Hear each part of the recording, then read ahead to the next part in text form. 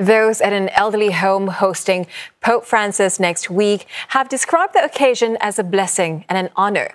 Excitement has filled the air at St. Theresa's home as over 200 staff and seniors get set to meet the 87 year old head of state. Now, he'll be in Singapore for three days starting Wednesday. Richa Mathew has more. I'm very, very happy and very, very excited.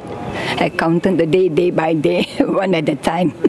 Everybody's looking forward to the Friday the 13th. Residents and staff here are in high spirits as they look forward to the papal visit.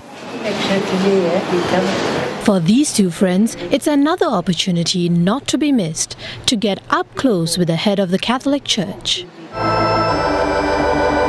Bertha Heng was among the tens of thousands who braved the rain when a pope last visited in 1986.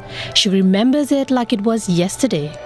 Last time we went to a stadium, it was too crowded. You cannot see from far. here better, here can see more. You're closer to uh, Pope Francis, you can see. Bridget also came very close before.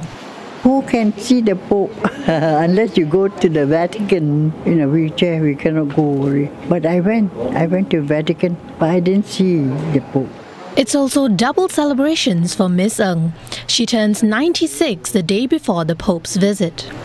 The home also has non Catholic residents, some equally eager to meet Pope Francis. On my part, I am very excited that whether I could get a chance to at least uh, say a few words with him. It's all hands on deck for the staff and management ahead of the occasion. For example, pews in the chapel have been removed to house up to 100 elderly people in wheelchairs. Security arrangements are in full swing.